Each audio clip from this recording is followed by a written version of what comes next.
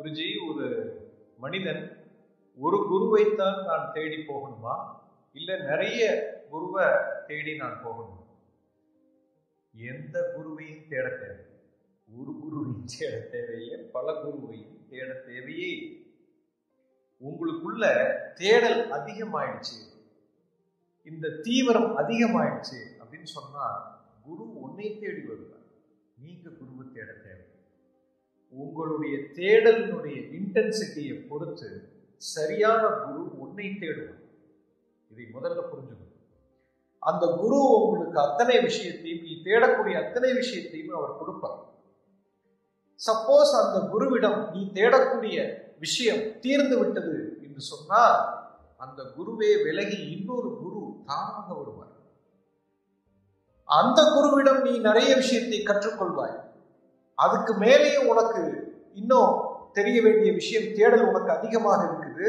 அதுக்குண்டான தீனி அவரிடத்தில் இல்லை என்று சொன்னால் அப்பொழுதும் நீ குருவை தேட தேவையில்லை. அந்த குரு போய் இன்னொரு குரு வருவார். யூ அண்டர்ஸ்டாண்ட் ஆக எந்த காலகட்டத்திலும் நீ யாரையும் தேடி போக தேவையில்லை. உன் முன்னால் யார் இருக்கிறாரோ யார் உனது வாழ்க்கையை உன்னுடைய தேடலுக்கு உண்டான ஒரு ஒரு பசியை தீர்ப்பதற்கான உணவை யார் கொடுத்திருக்கிறாரோ அவரையே நீங்க பிடிச்சிக்கணும் உங்க வாழ்க்கை மாறி இருக்குதா? இந்த குருவிடம் சென்ற என்னுடைய வாழ்க்கை மாறி இருக்குது அப்படின்னு பார்த்தீங்கன்னா அவரை பிடிச்சிக்கணும் உங்களுக்கு தேவைப்பட்டால் வேறொரு குரு தானாக தேடலுக்கு தகுந்தாற் போல் வரும். நீங்க சூஸ் பண்ணவே கூடாது.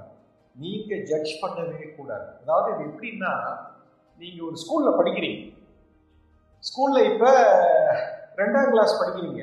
அந்த ரெண்டாம் கிளாஸ் பாடத்தை நீங்க படிச்சு முடிச்சதுக்கு அப்புறம் அடுத்தது மூணாம் கிளாஸ்க்கு போகும்போது அதே வாத்தியார் இருப்பாரு? இல்ல அந்த வாத்தியாருக்கு அதை சொல்லிக் கொடுக்க தெரியலன்னா இன்னொரு வாத்தியார் தானாக வருவார். நீ வாத்தியார தேட தேவையில்லை. நீ பாடத்தை தான் கவனமாக படிக்க வேண்டும். அதற்குண்டான பாடத்தை படிச்சுக்கிட்டே போ.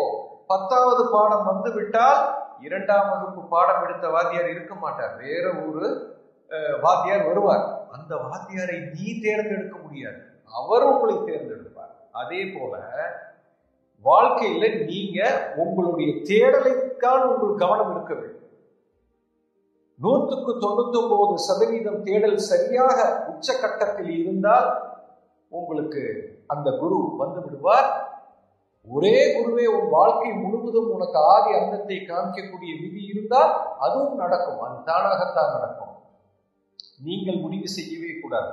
அதனாலதான் எப்பவுமே என்ன சொல்லுவாங்க? ஒரு குருவை ஜட்ஜ் பண்ணக்கூடாது. குரு மூலம் ரிஷி மூலம் நதி மூலம் பார்க்கக்கூடாது. ஏன்னா பார்த்துட்டீங்கன்னா மண்டையில குழப்பம் வந்து நீங்க இந்த குருவை விட்டுட்டு இன்னொரு குருவுக்கு போலாமான்னு குருவை பத்தி ஆராய்ச்சி செய்யக்கூடாது. அதற்காகத்தான் அப்படி சொல்லியிருக்கேன் தெளிவாக புரிஞ்சிருக்கும் நினைக்கிறேன். ஸோ உங்களுக்கு வாழ்க்கையில இப்ப யாரோ ஒருத்தர் வந்து உங்க வாழ்க்கையை மேல் நோக்கி எடுத்து சென்று கொண்டிருக்கிறாருன்னா அவரையே பிடிச்சிக்கோங்க விட்டுறாதீங்க அவரு சொல்லுவார். இல்ல அவரு வேணும்னா உங்களை தூக்கி போடுவாரு இல்ல விடுவாரு அது உன்னுடைய செயல் அல்ல. உனக்கு எப்பொழுதுமே எந்த ஒரு காலகட்டத்திலையும் ஒரே குரு தான் உனக்கு இருப்பார். அதையும் நீ தேட தேவையில்லை அவர் உன்னை தேடுவார் புரிஞ்சிருக்கும்